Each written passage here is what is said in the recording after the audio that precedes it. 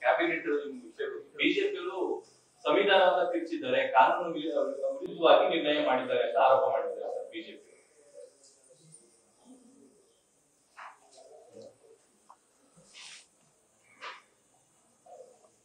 ಇವತ್ತು ಭಾರತೀಯ ಜನತಾ ಪಕ್ಷದವರು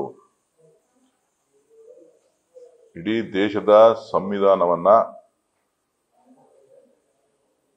ಒಂದು ಬಿಗಿ ಮುಷ್ಟಿನಲ್ಲಿ ಇಟ್ಕೊಂಡು ಕಳೆದ ಒಂಬತ್ತು ವರ್ಷಗಳಿಂದ ಆಡಳಿತ ನಡೆಸ್ತಾ ಇರ್ತಕ್ಕಂಥದ್ದನ್ನ ನಾವೆಲ್ಲ ನೋಡಿದ್ದೇವೆ.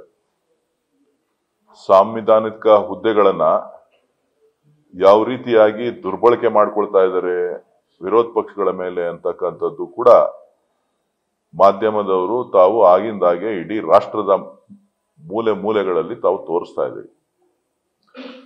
ಇವತ್ತೇನು ರಾಜ್ಯ ಸರ್ಕಾರದ ನಿರ್ಣಯ ಇದೆ?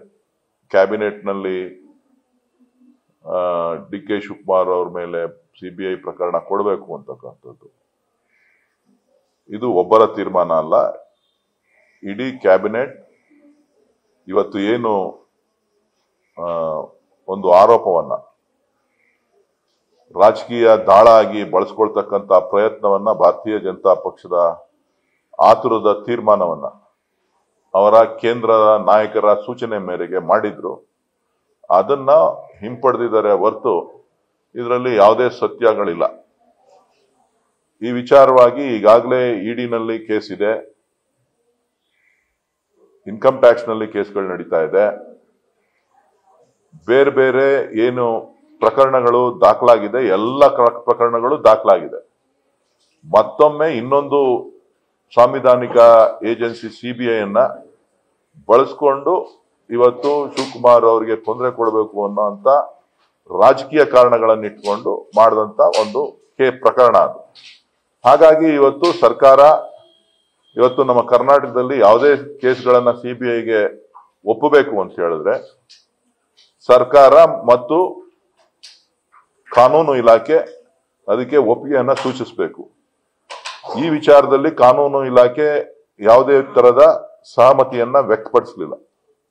ನಮ್ಮಲ್ಲೇ ಲೋಕಾಯುಕ್ತ ಸಂಸ್ಥೆ ಇದೆ. ನಾವು ಮಾಡ್ತೇವೆ ಅಂತಕ್ಕಂಥದ್ದು ಮಾಡಬೇಕಾಗಿತ್ತು. ಆದರೆ ಏಕಾಏಕಿ ಯಾವುದೇ ನಿರ್ಣಯಗಳನ್ನು ತೆಗೆದುಕೊಳ್ಳದೆ ಇವತ್ತು ಸಿಬಿಐಗೆ ಒಪ್ಪಿಸಿ ರಾಜ್, ಶಿವಕುಮಾರ್ ಅವರ ಮೇಲೆ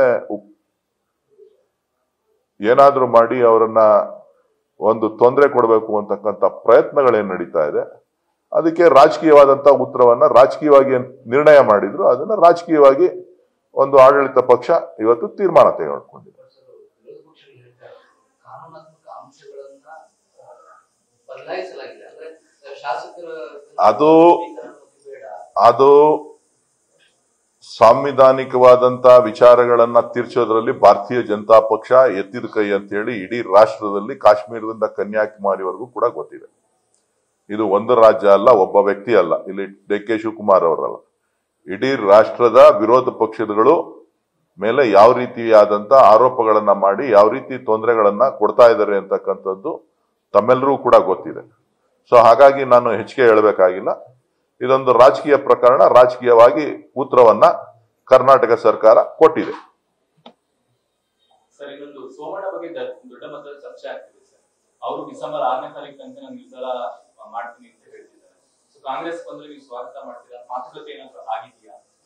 ನಮಗೆ ಯಾವುದೇ ವಿಚಾರ ಗೊತ್ತಿಲ್ಲ. ಸೋಮಣ್ಣವರು ಹಿರಿಯ ನಾಯಕರು. ಅವ್ರ ಬಗ್ಗೆ ವಿಶೇಷವಾದಂತ ಗೌರವ ಇದೆ. ಅವರು ಸ್ವತಃ ಈಗ ಭಾರತೀಯ ಜನತಾ ಪಕ್ಷದಲ್ಲಿ ಇದ್ದಾರೆ. ಅವ್ರೇನಾದ್ರು ಕಾಂಗ್ರೆಸ್ ಪಕ್ಷಕ್ಕೆ ಬರೋದಾದ್ರೆ ನಮ್ ಸ್ವಾಗತ ಇದೆ. ನಾನು ಅದಕ್ಕೆ ತೀರ್ಮಾನ ತಗೊಳ್ಳೋನಲ್ಲ ನಮ್ಮ ಪಕ್ಷದ ವರಿಷ್ಠರು, ಹಿರಿಯ ನಾಯಕರು, ಕೇಂದ್ರದ ಮಟ್ಟದಲ್ಲಿ ಮತ್ತು ರಾಜ್ಯ ಮಟ್ಟದಲ್ಲಿ ನಾಯಕರುಗಳು ತೀರ್ಮಾನವನ್ನು ತೆಗೆದುಕೊಳ್ಬೇಕಾಗ್ತದೆ. ಇಲ್ಲ ನಾನೇನು ಭೇಟಿ ಮಾಡಿಲ್ಲ. ನನಗೆ ಅವಾಗವಾಗ ಅವಾಗ ಭೇಟಿ ಆಡ್ತಾ ಸಿಗ್ತಾ ಇರ್ತಾರೆ ನನಗೆ. ಬೇರೆ ಬೇರೆ ಸಂದರ್ಭಗಳಲ್ಲಿ ಆ, ನಮ್ಮ ಊರಿಗೆ ಬಂದಂತ ಸಂದರ್ಭದಲ್ಲಿ ಸಿಗ್ತಾ ಇರ್ತಾರೆ. ನಾನು ಭೇಟಿ ಮಾಡ್ತಾ ಇರ್ತೀನಿ. ರಾಜಕೀಯವಾಗಿ ಏನು ಚರ್ಚೆ ಆಗಿದೆ? ರಾಜಕೀಯವಾಗಿ ಏನು ಚರ್ಚೆ ಇಲ್ಲ. ವಿಜಯೇಂದ್ರ ಮತ್ತು ಕುಮಾರಸ್ವಾಮಿ ಅವರು ಚರ್ಚೆ ಮಾಡಿದ್ದಾರೆ. ಪರ್ಟಿಕ್ಯುಲರ್ ನಿಮ್ ಕ್ಷೇತ್ರ. ಹೊಂದಿರುವಂತ ಕಾಂಗ್ರೆಸ್ ಕ್ಷೇತ್ರವನ್ನು ಕೂಡ ಬೆಂಗಳೂರು ಗ್ರಾಮಾಂತರವನ್ನು ಕೂಡ ಈ ಸತಿ ಬಿಡಲ್ಲ. ಇಪ್ಪತ್ತೆಂಟಿಗೆ ಇಪ್ಪತ್ತೆಂಟು. ಅವ್ರನ್ನೂ ಸೋಲಿಸ್ತೀವಿ ನಮ್ಮ ಮಾತಿಲ್ಲ ನಾನು ಇಬ್ರು ಹೇಳ್ತಾರೆ? ಇಬ್ಬರಿಗೂ ಒಳ್ಳೇದಾಗಲಿ.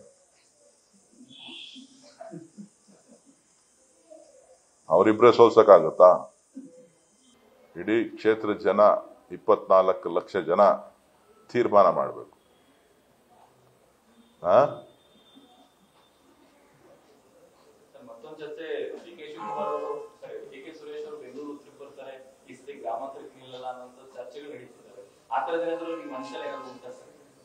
ಅದು ನನ್ನ ತೀರ್ಮಾನ ಅಲ್ಲ ಅದು. ಅದು ಪಕ್ಷದ ತೀರ್ಮಾನ. ಪಕ್ಷ ನಿಂತ್ಕೋಬೇಕು ಅಂದ್ರೆ ನಿಂತ್ಕೋಬೇಕಾಗ್ತದೆ. ಬೇಡ ಅಂತ ಅಂದ್ರೆ ಬೇಡ.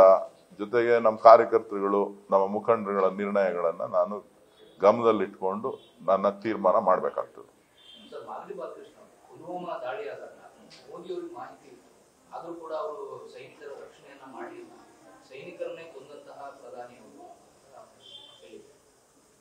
ಕೆಲವೊಂದು ಮಾಹಿತಿ ಅವ್ರಿಗೂ ಗೊತ್ತಾಗಿರ್ಬೋದು.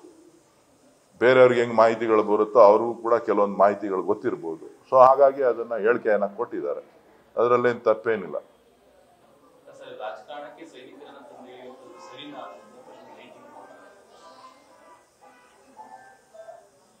ಆಡಳಿತ ಪಕ್ಷ ಪ್ರತಿ ಸಂದರ್ಭದಲ್ಲೂ ಕೂಡ ರಾಜಕೀಯ ದಾಳವನ್ನಾಗಿ ಯಾವುದನ್ನ ಬಳಸ್ಕೋತಾ ಇದ್ದಾರೆ ಅಂತ ಹೇಳಿ ಮಾಧ್ಯಮದ ಸ್ನೇಹಿತರು ಹೇಳ್ಬೇಕು ನನಗೆ. ಅಲ್ಲ, ಆಡಳಿತ ಪಕ್ಷದವರು ಪ್ರತಿಯೊಂದು ಹಂತದಲ್ಲೂ ಕೂಡ